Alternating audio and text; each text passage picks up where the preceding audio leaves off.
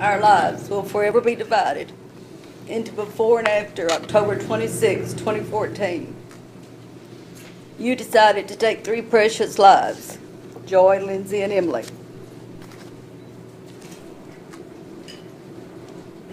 They are, they were, and continue to be loved by many people. And you decided to end their lives. You planned what you would do, and you carried it out. I cry every day wondering what my sister thought in those last few seconds of her life. After she walked into the basement and saw you standing there with a gun in your hand. The shock and disbelief she must have felt to see her son standing there and knowing she was going to die by his hand. I find some peace in knowing that she closed her beautiful blue eyes on evil, and when she opened them, she saw Jesus. What did Joy and Lindsay say to you when they saw you standing there with a gun?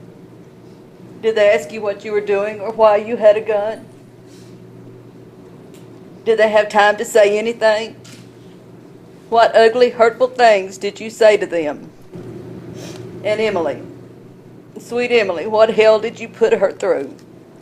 How long did you torture her? How long was it after you shot her the first time did you shoot her again and again? There is no punishment great enough for what you have done. Our family is broken and devastated and will never recover. We will always be living one day at a time. You have denied them many, many years of happiness and the ability to make memories. You stole that from them and us.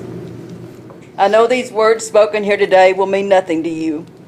You are incapable of feeling anything except for yourself. You've always been that way.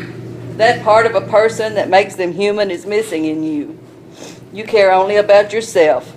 You have no heart, no compassion, no soul. You are an empty shell. And now that shell will be kept in a box with bars, locked doors, tall fences, and razor wire. A cage. You will be kept in a cage just like an animal, just like you deserve. You put on a good show October 20th, 2014. We had early Thanksgiving because Emily was home, she hadn't been able to be home for the holidays for several years. There you sat, eating and laughing with all of us, and all the time you knew what you were planning. Looking back, we believe you hinted about your plans when you and Gary were outside smoking. What a big man you must have felt like that night. I don't think you feel like that big man today. Your evil actions took three precious lives away from us. Joy, Lindsay, and Emily are gone because of you. What a waste. They were good, decent, humble, kind Christian people. They will be forever missed by those of us who love them. You could have done anything with your life. You spent your time hating Joy, Lindsay, and Emily. You spent your time being jealous of Emily's success. She was successful because she worked hard toward her goals. She didn't waste her time being jealous of what someone else was doing. You're smart, and if you had only applied yourself to do good things in life instead of evil, your possibilities were endless. You had the opportunity to go to college and become whatever you dreamed of being, but you decided to marry, murder your parents and sisters. What a waste. Your feelings of entitlement, greed, jealousy, and hatred of the people who loved you the most were yours alone. There are people who forgive the person responsible for their loved one's death. That will never happen in this case. God will deliver the final, ultimate judgment, and I trust Him to be fair and swift with His justice. You are responsible for the murder of Joy, Lindsay, and Emily. The journey you started us on on that beautiful Sunday morning in October will never end. You murdered my family. Joy, my beloved sister and best friend. The only one in the world who understood me because we had lived through our childhood together. Our childhood changed us, and no one in the world will ever be able to understand except us. Our mother was diagnosed with brain cancer when she was 34. I was six, and Joy was three. We never knew where we would be at night because Mama could go to Vanderbilt at any time. I learned to pack our suitcase and take care of Joy. She gave me a guardian angel charm a few years ago and said I was always her guardian angel while growing up. We survived our childhood together, and all the tragedies of life, we faced them together. Joy was a second mother to my daughter, a grandmother to my grandchildren. She loved them like they were her own, and they loved her more than words can say.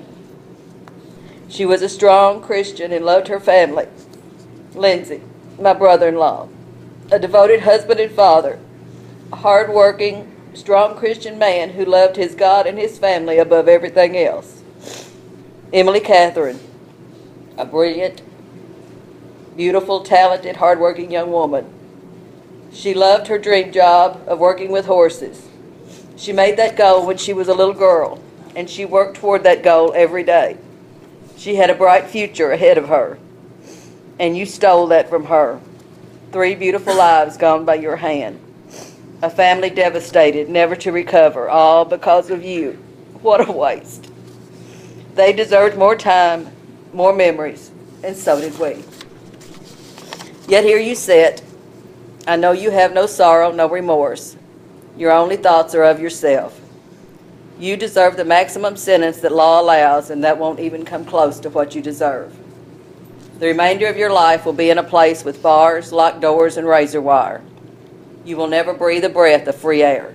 You will never have someone who loves you fix your favorite meal for your birthday. You will never have anyone care about you.